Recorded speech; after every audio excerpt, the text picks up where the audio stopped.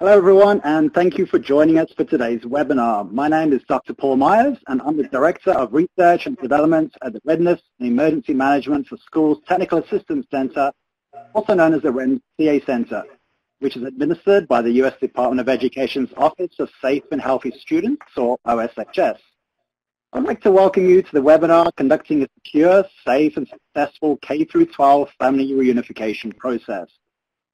During today's event, presenters from the Arizona Department of Education, Hampden-Wilbraham Regional School District, Chandler Police Department, OSHS, and the TA Center will discuss how schools and school districts can better prepare for family reunification after an emergency.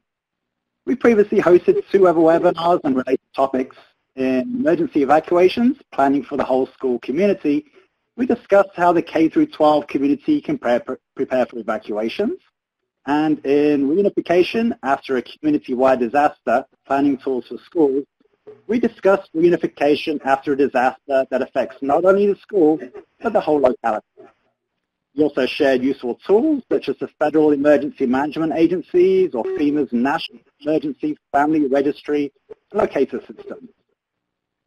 Both archived events are available on the REMS TA Center's website on our webinars page, and you can find a link to both events in the web links box on your screen. Here you can view the webinars and download accompanying materials such as the slides and resource guides. The topic of today's event is different from that of prior webinars and we'll discuss planning considerations for reunification after an emergency that affects just the school and not the whole community, and also steps that can be taken after an evacuation. Today's webinar is also being recorded and will be made available on the TA Center's website via our webinars page, along with an accompanying resource guide within 10 business days. Links to the webinars page is available in the web links box on your screen. Before we start, we have a few brief housekeeping items to discuss. We'll reference several resources throughout the webinar. These items, as well as descriptions of them and their URLs, are provided in the resource guide in the handout box on your screen. As a reminder, there is no dial-in for this webinar. Audio is available via the, web, via the link provided. If you're experiencing difficulty hearing the audio stream, please turn up your computer speaker volume at this time. If you experience any technical difficulties during the webinar, contact the TA Center at info at remstacenter.org. You may also request technical assistance using the Q&A box on your screen. Questions are viewable to the webinar moderator only. To pose a question to the presenters during the webinar, use the Q&A tool on your screen to send a message to the moderator. You may ask questions at any time during the webinar, although they'll be answered as time permits following the presentation. After today's event, you can post questions in our community of practice or you can email them again to info at remstacenter.org. I'd like to briefly introduce the presenters for today's webinar, and their full bios are available in the handouts box on your screen. Jim Lee retired from the Paradise Valley Unified School District after 36 years of service, where he served as a classroom teacher, principal, and district director of student services. He currently serves as an emergency response advisor for the Arizona, Arizona Department of Education and is a trainer for FEMA's Emergency Management Institute, the Arizona Department of Emergency and Military Affairs, and the REMS TA Center. Dr. Gina Khan is a school psychologist and prevention specialist who has worked in the Hampden-Wilbraham Regional School District in Western Massachusetts for over 25 years. As the Safe and Healthy Students Programs Director, she has coordinated several of the district's school safety, climate, and behavioral health integration initiatives. Officer Stephen Joe has been with the Chandler Police Department for 14 years and has served as a school resource officer for 10. For the last eight years, Officer Joe has been the school resource officer trainer for the Arizona Department of Education in the implementation of the Arizona School Safety Program. He's currently assigned to the Mesa Public School District. We'll now take a moment to review the agenda. Madeline Sullivan from EDS OSHS will first provide a brief overview of planning for family reunification at schools and school districts. We'll then host a moderated discussion where you'll hear key considerations on family reunification from a few different perspectives. Jim will provide a broader perspective of planning for family reunification. Gina will discuss support for students and families, and Stephen will share security considerations. We'll close the webinar with a Q&A session. After the webinar, please join us on the Community of Practice to ask additional questions about this topic and to further engage in the conversation. I'm now going to hand things over to Madeline, who is a Management and Program Analyst in EDS OSHS. She administers the REMS TA Center with Bronwyn Roberts, our Director. Madeline represents the agency on federal working groups and initiatives such as the National Disaster Recovery Framework and PrepareAthon, alongside working with state and local practitioners. Prior to joining the federal government, she provided technical assistance on pro-social skill development, violence prevention, and school emergency management after having served as a special educator. So Madeline, over to you. Thank you, Paul, and thank you, everyone. Um, we really appreciate you being here, and we encourage you to stay in touch um, following the webinar and participating in our communities of practice, which if you're watching this webinar archived will still be there. And so um, discuss away. so first, I just wanted to give a broad overview of the topic. So as I mentioned earlier, this webinar is going to focus on um, on school reunification, family reunification after an emergency that affects an individual school as opposed to the whole school community. So it's not uncommon that schools need to um, activate their reunification process due to um, an emergency, such as a building fire or a power outage or other small emergencies such as um, gas leaks and things like that. So in these instances, a typical school dismissal may not be possible. So instead, um, schools still need to reunite the students with their families and guardians, and um, it's going to be at the school or, if needed, at an off-site family reunification area. One thing I want you to remember as we discuss this topic, um, you want to be thinking about it in relationship to the reunification you do every day. Schools have a tremendous amount of expertise on this topic, and it's a matter of modifying your existing daily, existing daily plans um, so as to meet the needs of the whole school community during an emergency or during an atypical uh, school day. So family reunification is typically used after an emergency incident and um, as you can imagine, uh, parents and guardians may be understandably anxious and concerned about their children.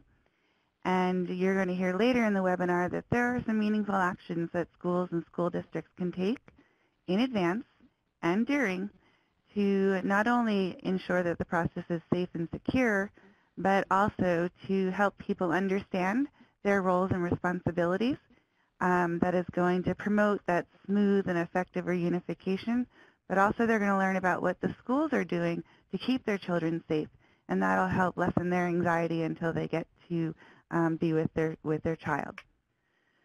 So um, then um, we also want to keep in mind that um, that uh, throughout this process of a reunification, there are going to be steps that you will be taking to ensure that the students and staff are safe and that the students are engaged in meaningful activities and that the guardians um, know where to go and what they need to do to be prepared for the reunification and um, such as one that is often a challenge if it's a surprise and that is the fact that um, the students can only be released to that authorized caregiver. One resource that can be especially useful as you create um, your protocols or your annex for family reunification at school is those principles and planning concepts that are put forth in the guide for developing high-quality school emergency operations plans. We call it the school guide for short, and I think that many of you are familiar with, with both titles. So we have a link um, to this in your web box on your screen. But also please remember that we, we present this information in numerous formats and in numerous lengths on the REMS TA Center website. That way we're better able to meet the needs and um, learning preferences of everyone where we are working to support. So this school guide um, provides several planning principles, and they are the foundation for um, school safety, security, and emergency management as it relates to preparedness. And when we say preparedness, we're talking about prevention, mitigation, protection, response, and recovery. So one of these planning principles that is especially pertinent um, to planning for school reunification is uh, creating and um, that when you're creating this plan or revising it after real-world incidents or trainings, you want to do it in a collaborative manner. So in this webinar today, we are demonstrating that. You're going to hear from three um, professionals that all have a different set of experiences based on their different roles as part of that planning team. So uh, um, this is just another example of something that can't be done in isolation, and it's going to rely on the help from all these different um, practitioners, that multidisciplinary team, both those from within the school system and those from the community, such as your school resource officer or your law enforcement officer. Then also um, keep in mind the additional community partners um, that offer a wealth of resources. In particular, that behavioral health practitioner that is with the local um, social services agency. These folks are especially important for some of the more uh, traumatic events, and they're going to help with providing um, psychological first aid and different activities like that. But in addition to collaboration, we encourage you to think about the planning principles that um, it's going to be done in collaboration. You want to provide for the whole school community, especially in regards to this critical function. You want to think about all settings and all times and things like that.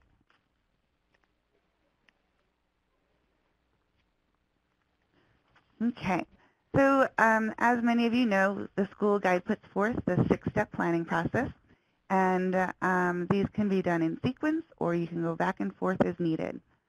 So this is what we use to, um, to guide the planning team in having those meaningful discussions and um, posing those questions for consideration to help craft those goals and objectives and protocols or courses of action to help protect the whole school community before, during, and after. And it's through these discussions that we're able to identify those common functions, and one of them is reunification. Um, there's a number of different circumstances in which a school might need to activate its reunification annex.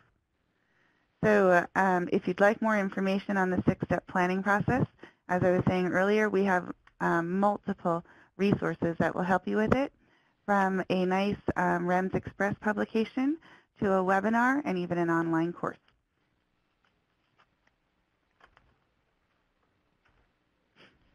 Okay, so as the planning team progresses through the six-step planning process, they'll be able to identify those actions that the school or school district is going to take in order to reunite the students with their families and their guardians.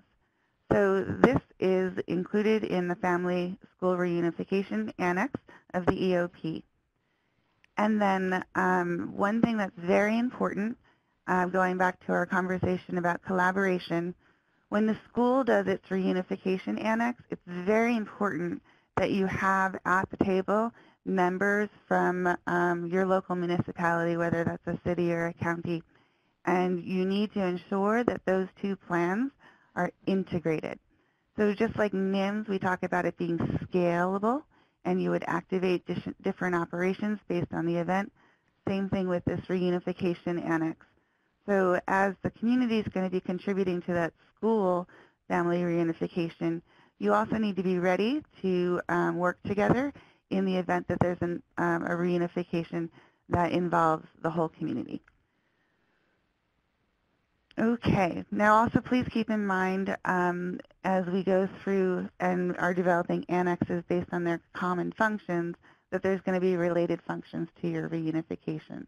So for example, your communication um, annex is going to be activated at the same time. Okay. So today we're just doing a brief um, overview of the essentials of of uh, planning for family reunification at school. Um, but more, you're going to hear about some, some strategies um, from our colleagues who are on the phone with us today. So if you want to learn more about the details and those key considerations that are going to guide those conversations with your partners, we encourage you to go check out some of the other um, great resources that we've worked on and developed together.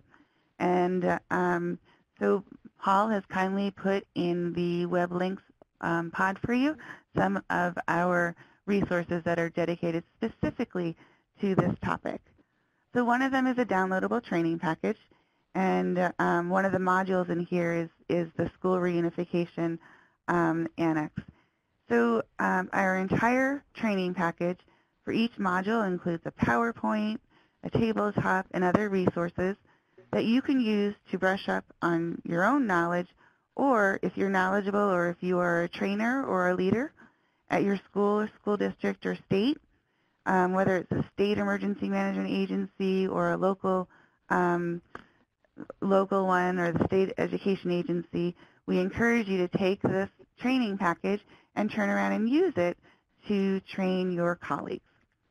Another one is we have a sample family reunification annex. So we created this based on um, those meaningful discussions and input from different practitioners in, in K-12 school um, emergency management. So we included sample goals and objectives and courses of action or those um, individual protocols for a specific building that you might identify as you were going through that six-step process and having those conversations. And then at the end, um, we have reached out to different districts and we've included some sample forms that are commonly used. So, and then in that note, we do have a toolbox. If you haven't seen the toolbox, I highly encourage you to do so. Here, we um, store a variety of materials or tools and forms and policies and protocols and such that have been created by practitioners just like you. So um, there, they have offered these for your um, for your looking for your perusal, and so that you can see how others have done it, and it might help influence your work. And then we have our newest part of the website, and that is our topic-specific web page. So you can go there, and it provides links to more resources on school family reunification. Okay, so um, just wanted to give you a couple pieces of information in case you're not very familiar with the topic so you can better follow the conversation and the um, insight that Gina, Jim, and Stephen are going to be sharing with you. So one, um, if you look at this, this is just like one possible way to design a reunification center or location um, area. Obviously, it's going to be vary based on your school building and campus, and also the resources and needs of you and your community partners. But here we just wanted to point out a couple of, of um, components that are powerful. So one is to point out the family check-in gate. So this is where the, the parents and the guardians are going to check in when they first arrive. They're going to complete those student release forms and provide you with that identification so that you're able to verify that they have the authority to, um, to that you have the authority to release the student to them. So one thing, one strategy is often relayed is that you want them to be able to see their children but not communicate with them. So it's important that they have that sense that their child's okay, but at the same time, you want to avoid them being able to bypass any of the procedures and just leave with their child. Which brings us to the other component, which is that student assembly area. So this is where they're going to be waiting until their families are there and you're able to release them to their families and guardians. Again, this needs to be separate, um, but also another consideration is you want to make sure it's, uh, it's the area in a way can contain them and the adults there can manage the the students because you wouldn't if you think about some of those older students who might drive to school or feel that they can walk off campus, you don't want it to be possible for that um, as you're maintaining your accounting um, for all the well-being of all your students. And then we have another component for consideration, and that is the family waiting area. So after they've been cleared for reunification, there's going to be the process of getting the student and bringing them to them. And then we have the command center, and that's where um, the different community um, partners and school officials are working together and working on communication and, and all sorts of different um, tactical aspects of that incident command. And the media area. now this is another one that you really need to have some, some lengthy conversations with your partners and really think it through. So you need to provide them with a place that, um, and keep in mind how much room they're going to take up, not just them, uh, um, you know, congregating, but their vehicles and sometimes those um, vans with the cellular mobile options and such. And we also need to make sure that we're we are providing for that privacy factor for the students and their families. So there's a, again, there's a lot to be um, considered, and uh, yeah. And then another, some people say that they should be able to have some sort of view, but nothing too close because they need to have they need to have their media as well. But again, we have to really focus on that privacy and then also maintaining that calm. Okay. So there's a few more additional um, planning considerations. I'm just going to go over them very briefly just so you can keep it in mind as you're listening to Jim and Gina and, um, and Stephen. So as you're working with your partners, think about how are you going to inform your families about the process in advance and also ways that you can teach them or impart to them in advance their roles and responsibilities. So many folks do it through the media, through um, uh, you know announcements and letters home, back to school night. Um, we always recommend folks that you do it via social media um, the more you get them accustomed to going to a social media profile in advance, the more likely they're going to go there during an emergency. Ultimately, we want to make sure that we can um, inhibit them from taking an action that's going to put them at risk or their child at risk or um, interfere with this process. So as you know, we do a lockdown when it's safer inside the school than it is outside the school we wouldn't want a family member rushing to the front door if there was um, a, a, an ongoing threat right out, you know, right outside that school building. Okay, so um, you definitely need to have um, an agreement and documented and informed procedure um, describing when it is determined that an adult is authorized or you're, you are authorized to release a student to an adult. And then um, how are you going to facilitate communication? between the reunification site, the checking gate, and all those things. How are you going to protect the privacy of the students? And we just went over a few examples of that. So um, then we're just going to go a few more. Okay, so again, this can, because it's stressful, um, or it could be stressful, there's likely to be confusion. So the more you teach folks in advance, you're going to alleviate a lot of that stress and confusion. And so um, one thing is we've all been asked to wait, and this is one of the hardest times as a parent or a guardian to wait. So think about those frequent updates. One thing we hear time and time again is that especially during emergencies, those families, they want updates, even if it is to say that nothing has changed. So they need to know that you are actively caring for their child and you are actively trying to reunite them. And then, as we mentioned earlier, you need to take steps so as to prevent students from leaving on their own. And then most importantly, or not most importantly, but it is so important, you really need to think about the needs of that whole school community. So um, think about it in terms of language and communications. Think about it in terms of having nonverbal communications. Think about when you're when you're setting up that um, that whole reunification site, is it accessible by wheelchair, and so on. So you, you, you need to think that through because that can cause more challenges. And you really want this to be smooth. And again, like I said earlier, you have what it takes to do it because you do it every day. And on that note, thank you for everything you do every day to protect students and staff around the nation. So now I'm going to turn it back over to Paul. Great. Thanks, Madeline. We're now going to move into the moderated discussion where you'll hear the different perspectives on planning for family reunification. We'll begin by discussing how to choose a site and create reunification areas.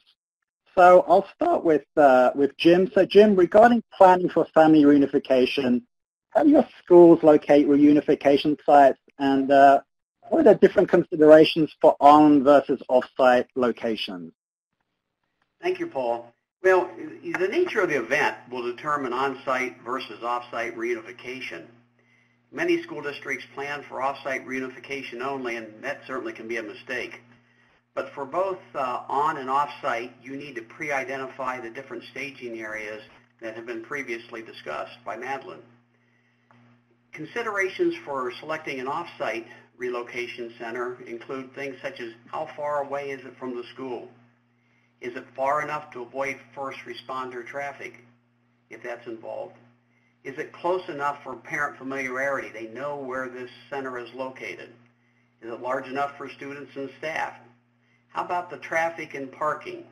Do you have uh, room for lines of parents? You need to provide for separation of staging areas? Does it have enough restrooms? And can it be secured? Another question for an off-site uh, center is, can you bring in food and water? Is Wi-Fi available, which you'll need? And can you pre-stage supplies, which can be important?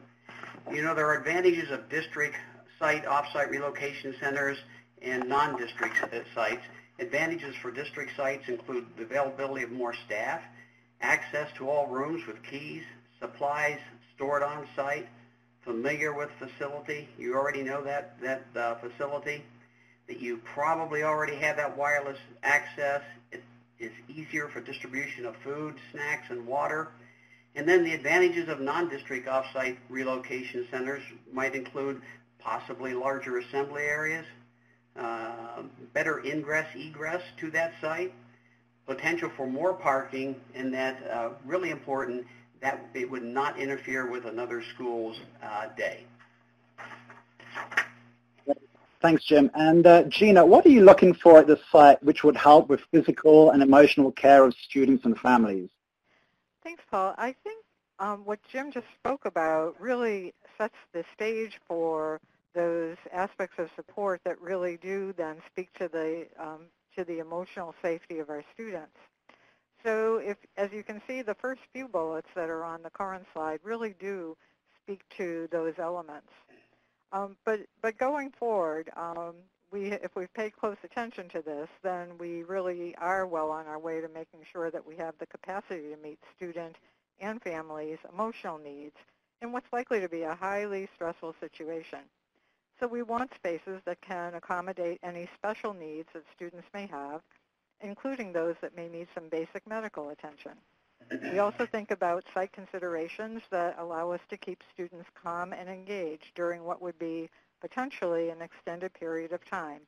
So planning ahead for some of those very physical, like water, snacks kind of needs that we just heard about, as well as how we might keep them quietly engaged, not with local TV where news coverage might add to the anxiety. This is another place where pre-planning is really important um, to know students with special physical, medical, or behavioral health needs because those should be emphasized, and making sure that we have trained and allocated sufficient staff to address those. In terms of parents, we want to make sure that the physical space conveys, to the extent possible, that sense of calm and order. And again, many of those, of those aspects that we've just heard about are going to be contributing to that. So the one that I would emphasize is making sure that we have um, particular attention to designated spaces where special concerns can be addressed, separate spaces for those without identification, and those who are going to need additional support from trained um, practitioners, for example, and I think Madeline addressed this, those with training in traumatic incidents or, um, or psychological first aid response, in the event that a student has not yet been located or has been injured. Great. Thanks, Gina. And uh, Stephen, what are some of the security and safety aspects to consider at a reunification site? And uh, what are the differences? What are the differences between off-site versus on-site? Well, uh, first, don't be too quick to dismiss structures or field space that you you have on your campus because you're going to be familiar with uh, the uh, security aspects and of your own campus. Uh, so a primary reunification site may very well be your own school, uh, but you may need, may not be able to utilize your normal dismissal route. So kind of think out outside the box there. Weather, power, water, sewer outages, gas leaks, chemical spills, fires, these kind of hazards are more likely to occur than on-site school violence. But safety teams need to go through kind of what we're doing, is that what-if scenario, the tabletop exercises. Consider more than one secondary location. Your emergency responders may um, have concerns with the site that you've chosen. Uh, at one of our schools, the district evacuated to a park, and at the park, they performed the reunification process. It was a challenge, but it can be done. So once a site is established as an option, then review the, the impact of the resources uh, within the proximity of that um, location. Consider transportation availability, school bus, city bus, charter bus, or even walking routes, and access to all anticipated vehicle traffic and parking. Uh, locally, we had a school select a nearby church for reunification, and the parking lot filled quickly, so much so that the school bus couldn't even get the children in to drop off and start that reunification process. The location of the church was only a few hundred yards from the school, and parent vehicles clogged up the church um, for emergency vehicles. So once you're at the location, consider physical or even just perceived barriers. Everything from fencing to strategically placed vehicles to caution tape may be used to establish perimeters to allow for that ingress and egress of pedestrian traffic as well as vehicle traffic. Uh, use these type of barriers to appropriately separate the recommended areas of a unification reunification site. Um, coordinate with your local first responders and uh, site or district security. I have found each district varies in their available resources. In law enforcement, we have uh, what's referred to as mutual aid agreements in place to assist each other in critical incidents. Uh, in this case, reach out to neighboring schools or districts and explore opportunities to assist each other in emergency situations. Because what we're uh, speaking directly to today is if one school is evacuating, and so there may be other available resources uh, with a neighbor, neighboring district. Great, thanks, Stephen. So we're now going to start discussing how to facilitate a smooth family reunification. So uh, I'll ask Jim the question first. So Jim, what pre-event planning activities can help the response team with family reunification? Well, you, when I take a look at family reunification, I see uh, four main components that are important, important to include. Um, people, places, supplies, and process you know, when you think about people, you're going to ask yourself, as part of your plan, in the planning process, who is involved at the school, and I'm going to add who is involved at the district level with reunification. Um, that uh, I realize that some districts are larger than others, and they have district personnel to help with that process. Uh, others uh, may not be, but that's part of that planning process once you identify the people, you're going to ask you know, you know, yourself, including your plan, what specific roles do they serve during reunification? Because there are a number of roles that need to be uh, completed. As far as people, uh, or excuse me, as far as places, that, you know, is it going to be on-site or off-site reunification? And then with that, have you identified, have you pre-identified the staging areas for both? And again, I mentioned earlier that uh, so many uh, people make the mistake thinking that a school reunification is going to take place on-site when so often it happens off-site. So you have to determine staging areas for both. If when determining staging areas for off-site relocation centers, you're going to have to go visit that site, you're going to have to walk that site with your team and pre-identify those locations. Supplies. Supplies are so very important for reunification. You need to determine in advance what supplies are necessary to support a successful reunification for the largest school in your district. And I say that because typically school districts will have maybe one, two, three uh, groups of supplies available that they can distribute to a school, it's important that they take into consideration will that supply bin uh, be uh, adequate for the largest enrolled school in your district, specifically reunification forms. Uh, and then the process itself. You know, you need to develop and practice uh, your reunification annex for both on and off-site locations. It's important to include local law enforcement and fire in the, in the planning and the exercising there. And then, of course, you need to train your staff, your students, and parents on the reunification process prior to an event. Thanks, Jim. So, uh, Gina, what activities can support families and students in the reunification process? Thanks, Paul. So I think, again, Jim has given us the key systems components of this. And I think another thing that Madeline had said early on in the webinar um, is important to remember, which is that there are a wide range of precipitating situations, and how we, how and what we activate or mobilize will be based on what those precipitating circumstances are. But there are some basic things that we can do that help us be more prepared, especially as a new school year begins, but along the uh, course of the year, making sure that all information is up to date, especially in terms of, if, and we've already heard this, but it's important to emphasize, who is authorized to pick up a student in an emergency, and of equal importance, who is not authorized if there are any legal restrictions pertaining to a specific student release. Details such as gaining immediate access to up-to-date bus assignments, daily attendance records, and other such things should be developed in advance, as well as thinking about what we might do if our electronic student information systems would not be accessible. And these matters can be addressed in those pre-planning tabletop exercises. Training in crisis and trauma response should be included in our annual professional development plans, and if at all possible, we should collaborate with cross-training with community mental health partners. That will increase our capacity.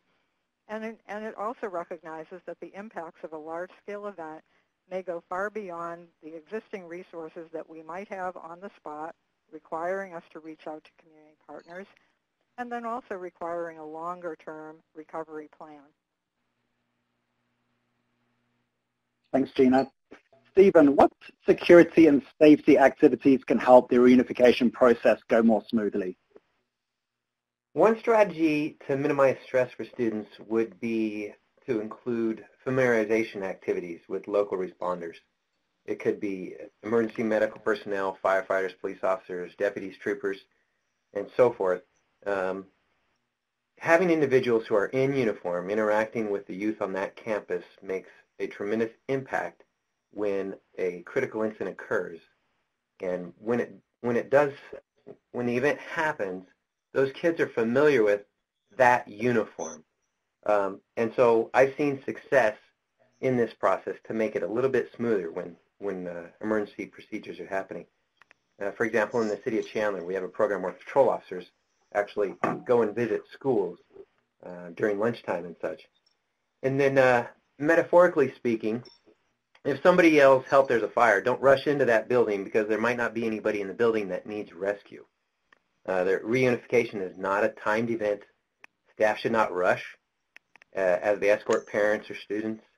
In critical incidents, uh, members of the public, um, when I say members of the public, I mean parents and staff, uh, they will experience uh, a response or a survival urgency without putting everyone through critical incident stress management training a, a simple emphasis of slowing things down and making it a deliberate process will help establish a smooth reunification process. And then during critical incidents, the presence of the media may contribute to unnecessary anxiety.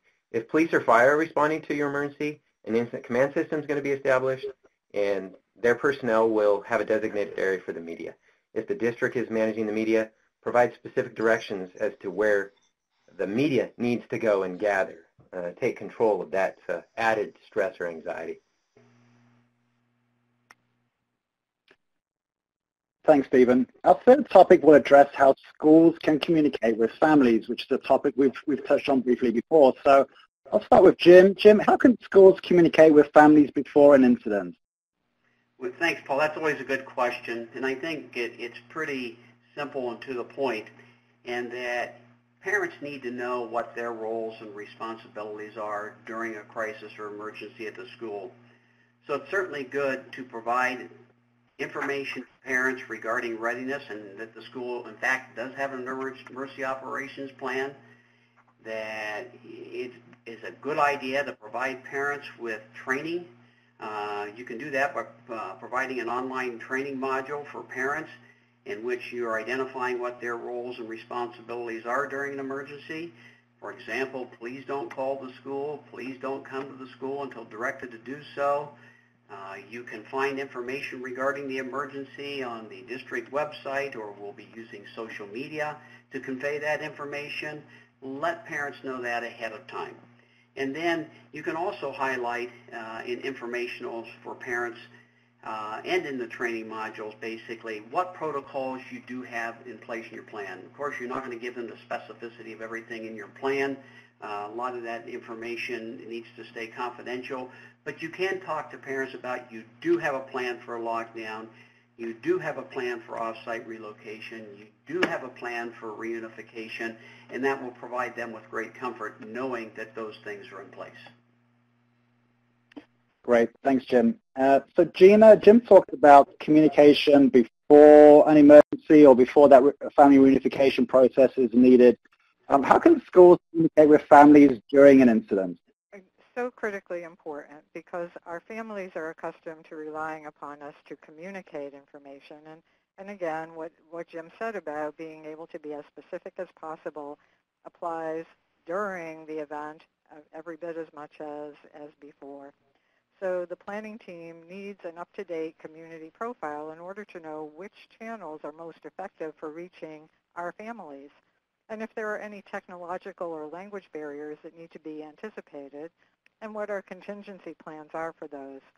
Many schools rely on an automated alert system that allows messages to be delivered by voice, text, and email simultaneously. But we need to think about how we will communicate if this system was for some reason unavailable, or if we knew that it was not going to hit all of the families that we needed to communicate with.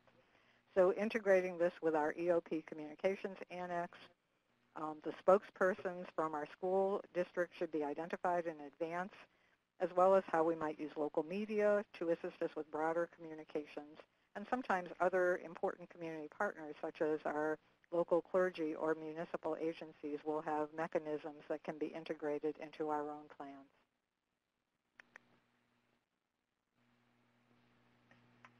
Thanks, Gina. So, uh, Stephen, what communication can help with security? Uh, I think uh, Jim's uh, mentioned a little bit of uh, what I was covering. You know, a normal reaction uh, during an incident, we all turn on the media to see what is happening. So uh, you might want to utilize the media, utilize the, public information officer to get that word out.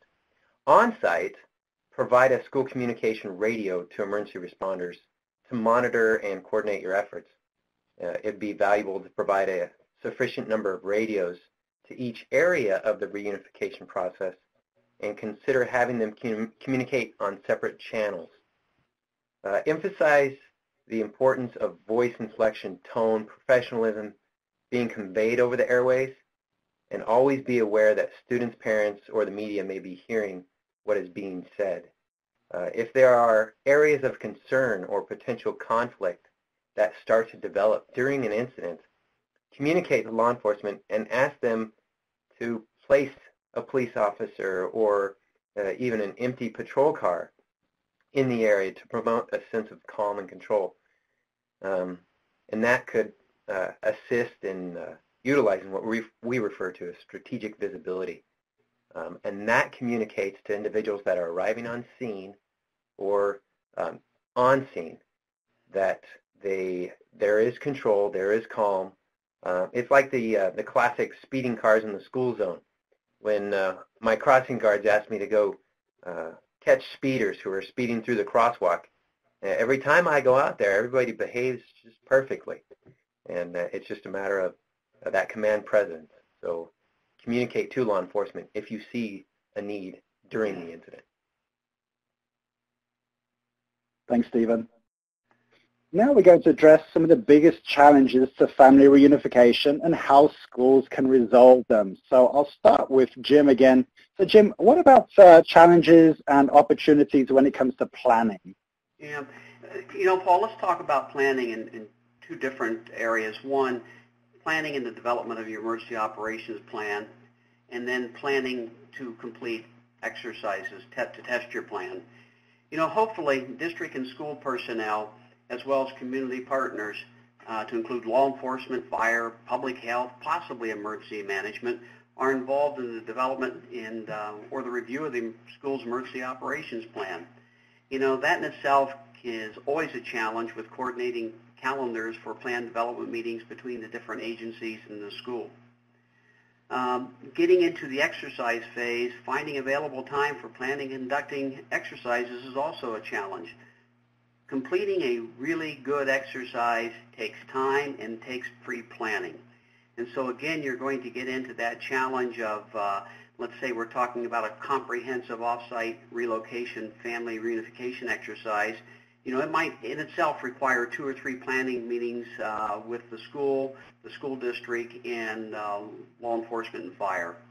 And then also it's important to incorporate you know, in the exercise process to, and the plan to incorporate the needs of students with disabilities and limited English speaking students, that it's also equally important to include this population in your offsite relocation, family reunification exercise. That in itself will tell you a lot about the quality of your plan and your ability to carry it out without difficulty.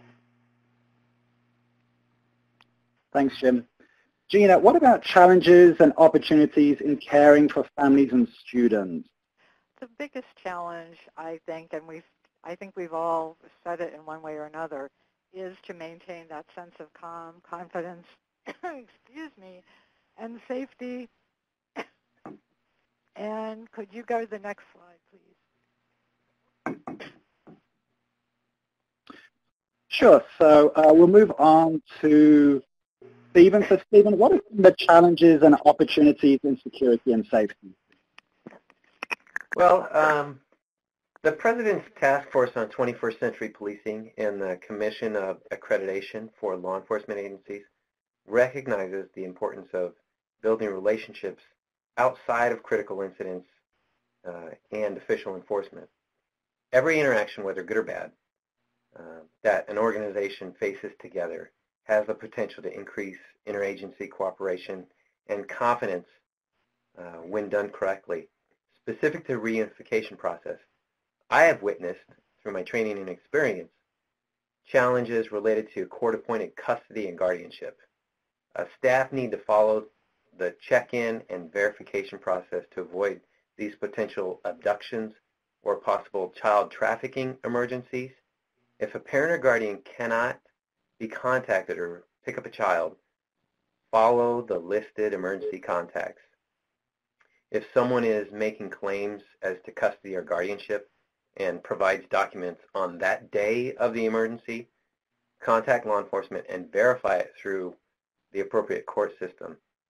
In law enforcement, we train by examining case studies, best practices, and role play. It'd be important to tabletop what uh, exercises and actual uh, tabletop these events and then um, have actual site visits by your administrator or district, district personnel. And that will provide an increased level of confidence for those who will be training prior to or directing during a reunification process. Great. Thanks, Stephen.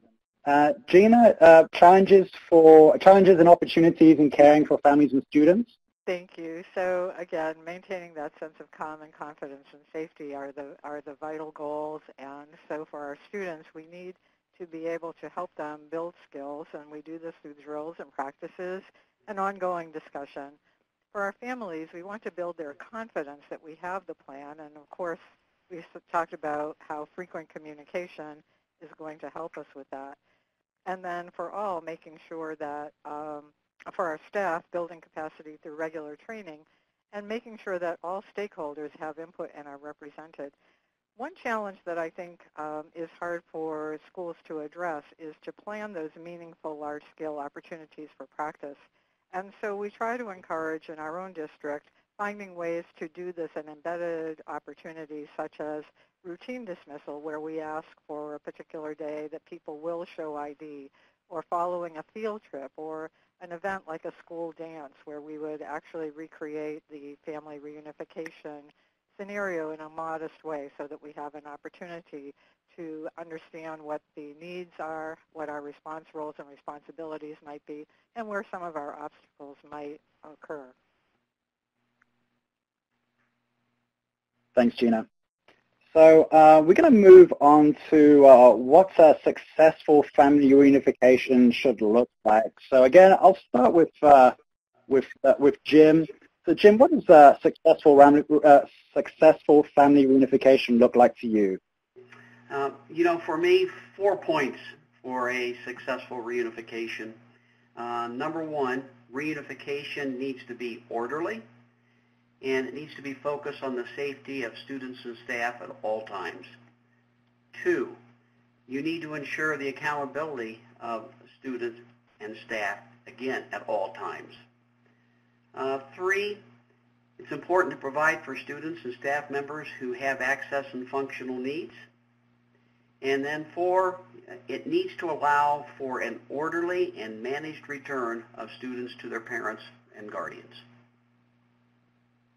Great, thanks Jim. And uh, Gina, to you, what would successful family reunification look like with regards support for families and students?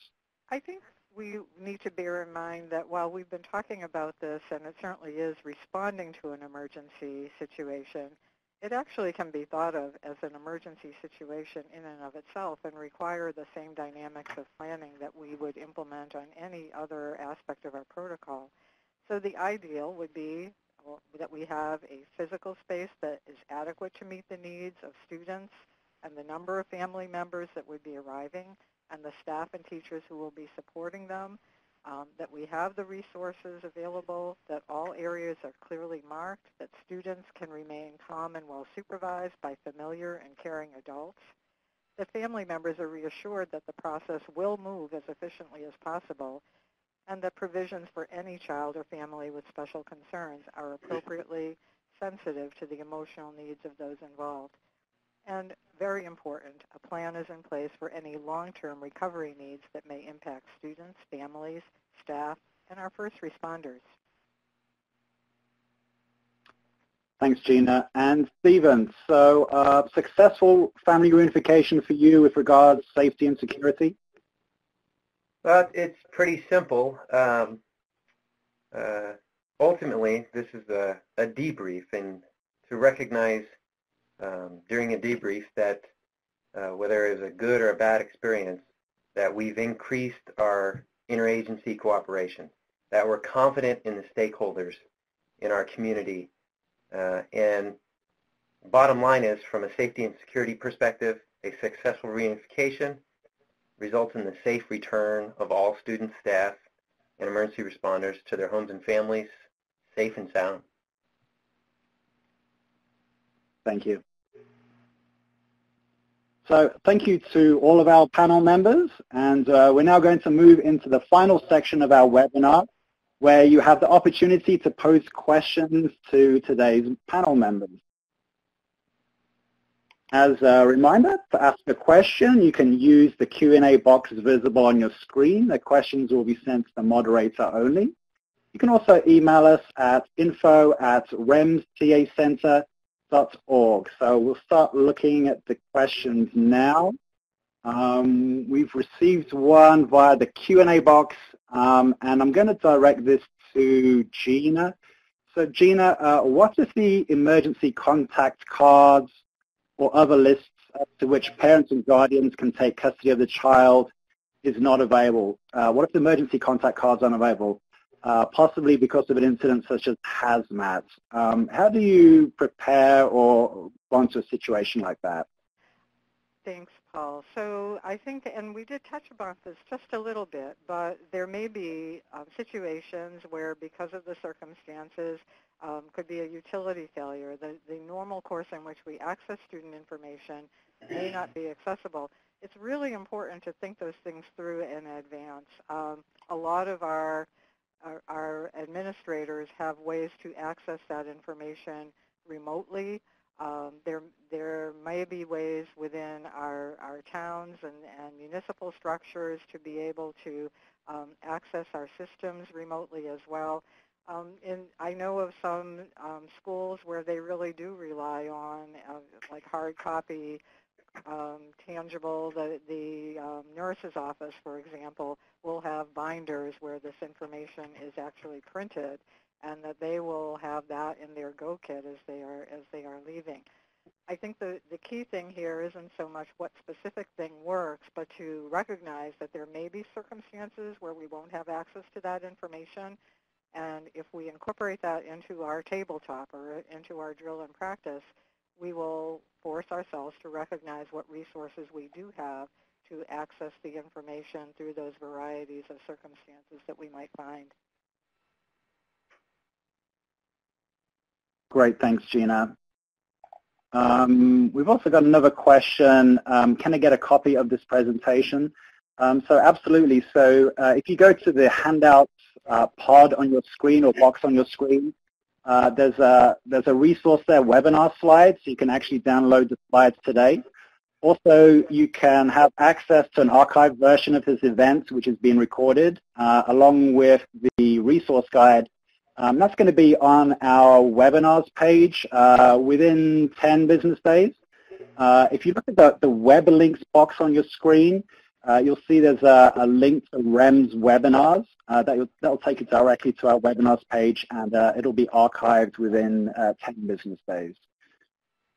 another question that, we, that has come in, I'm going to pose this one to Stephen. Um, I work in a K through 8 school that has a pretty solid family reunification plan in place. Uh, should we have to activate our family reunification annex, how do we handle the general public who will want to use our school for shelter supplies, communications, and medical care? We only have enough supplies for students and staff, um, so security could be an issue. Any advice you could provide would be great. So, um, Stephen, can you help answer that? You know, that's a that's a bigger global question that uh, certainly would include more stakeholders that could provide further information on that. From a law enforcement standpoint, we train on these more larger incidents, and so I would really reach out to your local municipalities to assist with that. Um, we've got mutual aid, we've got cooperative agreements in place, um, mm-hmm. so that that's what I would suggest doing. Um, take this exact scenario uh, to those stakeholders and, and say, what, what should I do? What resources are available? And then I, I wouldn't rule out any resources, including nonprofit organizations uh, that would be uh, coming to the aid of your community during those incidents. Network with them so you know exactly uh, how to get a hold of them uh, in the most immediate fashion. And thank you. Uh, oh, sorry. Oh, you go ahead. Um, if I could just add too that in selection of sites, it's important to know if that um, site is designated as a as a community emergency shelter. There may be mm-hmm. very specific circumstances where it would not make a good family reunification location, and so mm-hmm. again, the the emphasis on the the planning and the pre-assessment is, comes into play here. And this is Madeline. Um, that question, that question, um, in you know, in theory, if we are planning um, with the school system, uh, if there's planning going on in collaboration between the school system and that local um, municipality, and um, then it's integrated. And so those are the kinds of questions you'd want to work out in advance. And, um, and those are the different kinds of considerations. So going back to that all settings and all times. And then also if the community is relying on the school to serve as an asset, um, that's a further prompt for you to be sitting down together. So to all um, school officials, I encourage you, if you're not um, leadership at your school system, then to go to your lead leadership in a polite and respectful manner. Um, and um, it's important that you sit down together. Oftentimes this is not happening. This is one of those assumptions that causes problems. And so uh, we always say that the table needs to be set so schools and the local communities can get together. If the schools aren't being invited, I encourage you, school leadership, to invite that community leadership to your table. And um, that can be the beginning of a very, very powerful relationship. And if, through that integration and collaboration, it'll help, uh, um, like Gina was saying, it's, there's times when it's not the most fitting um, selection and such. It's just going to increase everyone's capacity before, during, after. Thanks, Madeline. And uh, we have received quite a few questions uh, that we're not going to have time to answer during the webinar, but uh, we will be continuing the conversation in our community of practice immediately following this webinar. And uh, uh, that's the, the URL, the web page for that will be opened up immediately after this event. So we'll try to answer the remaining questions in that community of practice. But um, just want to thank everyone who has posed a question, and a special thanks goes to our presenters, Jim Lee from the Arizona Department of Education, Dr. Gina Khan from the Hampden-Wilbraham Regional School District, and Stephen Joe from the Chandler Police Department.